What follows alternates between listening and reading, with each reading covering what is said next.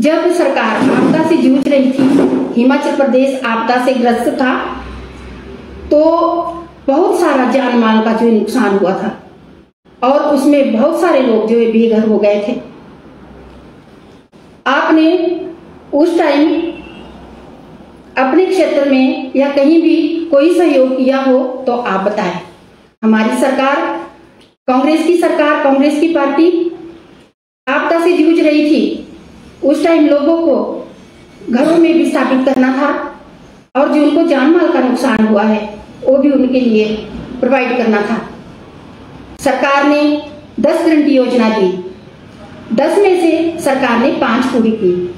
उसमें पंद्रह सौ रुपए वो महिलाएँ, जो गरीब महिलाएँ हैं और जिनके पास कोई साधन नहीं है, उनके लिए ये योजना में प्रावधान किया था। आपने हर गली, हर मोहल्ले में ढोल बजा के और भांगड़ा नाच के ये कहा कि सरकार पंद्रह सौ रुपए क्यों नहीं दे रही है? हमारी महिलाओं ने अकाउंट खुलाए हैं, हम सबने अकाउंट खुलाए हैं, कब पंद्रह सौ रुपए आए? आपदा के जूझने के बावजूद भी सरकार ने महिलाओं की बात सुनी, समझी और उनको पंद्रह सौ रुपया दिलाने शुरू किए। आपकी सरकार ने, आपकी, आपके विपक्ष ने उसमें जैसे ही महिला पहले तो कहते रहे कि पंद्रह सौ रुपया क्यों मिल रहा है महिलाओं को? क्यों नहीं मिल रहा है? और जब मिलने लगा तो आप उसमें विरोध में खड़े हो गए आपकी पार्टी। और आपने चुनाव आयोग के पास जाके इसकी शिकायत की कि नहीं मिलने चाहिए। बहुत सारी जगह में लाहौल स्पीति में और अन्य क्षेत्रों में पंद्रह पंद्रह सौ रुपया जो है गरीब महिलाओं के खाते में आ रहा है। आप एक गृहिणी हो और हर महिला जो गृहिणी होती है उसे पंद्रह सौ रुपए की वैल्यू पता होती है। आप सोचो, अगर हर महीने में सरकार उनको सहायता राशि दे रही है तो एक साल में वो राशि अठारह हज़ार होती है। उसमें अगर वो उनको बैंक में रखेगी तो उनको उसमें ब्याज भी मिलेगी। और वो अठारह हज़ार रुपया जो है, महिलाओं के, अपने बच्चों के पालन पोषण के लिए, उनकी एजुकेशन के लिए एक सरकार की तरफ़ से सहायता होगी। आपने पिछले दिनों कहा कि सांसद ने जो पहले वाले सांसद थे जो हमारे वर्तमान में जिनको टिकट मिला है, आपने उनको कहा कि उनके पिता ने क्या काम किया? और जब कांग्रेस के सांसद थे तो उन्होंने क्या काम किया? मैं आपके ध्यान में लाना चाहती हूँ कि जो, जब वो सुल्तानपुरी जी शासन सांसद होते थे तो उन्होंने बहुत सारी योजना जो अपने सांसदीय क्षेत्र के लिए लाई। उसके बाद धनीराम सांडिल जी संसद होते थे कांग्रेस पार्टी से।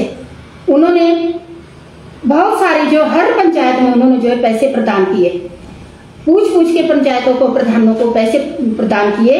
और अगर आप देखो जाए, किसी भी पंचायत में आप उनके कार्यकाल का पूछे तो उस कार्यकाल में उन्होंने जो है धन की राशि जो है हर पंचायत में प्रोवाइड कराई है और वो एक ऐसे सांसद होते थे कि हर क्षेत्र में जहाँ वो पैसा निधि देते थे, उसमें ये पूछते थे कि क्या ये काम हो रहा है कि नहीं हो रहा है?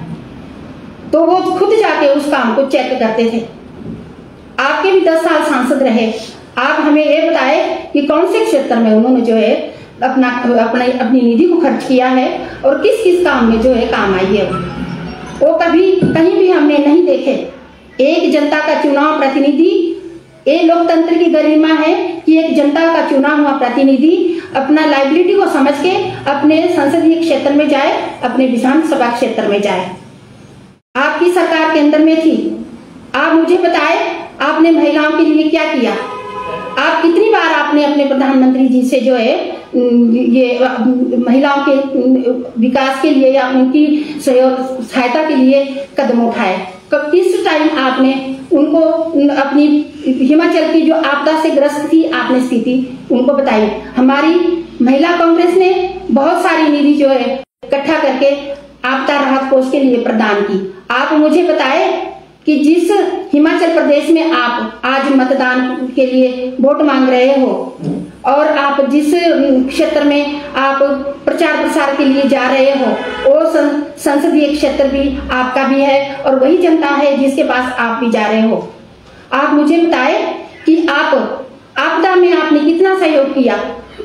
मैं आपको बताऊँ, हिमाचल प्रदेश जब आपदा से ग्रस्त था, उस टाइम मुख्यमंत्री जी ने हर क्षेत्र में जाके दौरे किए और हर क्षेत्र में दौरे करने के बावजूद उन्होंने स्थिति को देखा और जितने भी आपदा से प्रभावित लोग थे, उनको जो है सहायता राशि प्रदान की, उनको विस्थापित किया। ऐसा मुख्यमंत्री हिमाचल प्रदेश में शायद पहली बार होंगे जो खुद अपनी आपदा प्रभावित क्षेत्र में पहुँचते हैं। आप मुझे ये बताए कि आप, आपके जो, जब आपकी केंद्र में सरकार थी, आपके यहाँ से सांसद थे चुने हुए, आप ये बताए मुझे कि उन्होंने कितनी निधि के लिए जो है सरकार से गुहार लगाई? कितना प्रावधान आपने जनता के हित में आपदा प्रभावित के लिए किया? जबकि उनकी सरकार थी, ये तो दूर की बात है कि वो इन्होंने उठाई थी, बल्कि जो वहाँ से निधि भी आती थी, उसमें भी उन्होंने लाने के लिए कोई सहयोग नहीं किया। आप एक महिला है, एक गृहिणी है, आपको पंद्रह सौ रुपया रोकने का कोई अधिकार नहीं है।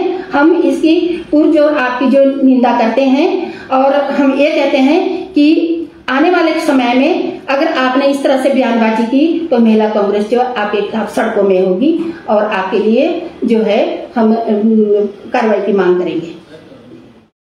उन्होंने जो मना किया 1500 देने से, उन्होंने कहा कि 1500 डायरेक्ट नहीं मिलना चाहिए। कोई संसाधन ऐसे जुटाया जाए कि ताकि 1500 से भी अधिक महिलाओं की आय हो सके। ये आप ठीक कह रहे हो कि संसाधन ऐसे जुटाने चाहिए। संसाधन महिलाएँ खुद भी घर में काम करती हैं और कांग्रेस के, कार्यकाल में मैं आपको बताऊँ, बैंकों की व्यवस्था इंदिरा गांधी जी ने की। और उसके बाद स्वयं सहायता समूह उन्होंने बनाया। और उनके कार्यकाल से स्वयं सहायता समूह और महिला मंडल बने। उनमें वो जो राशि देती है, उसके साथ ही उनको जो है सरकार भी सहयोग करती है।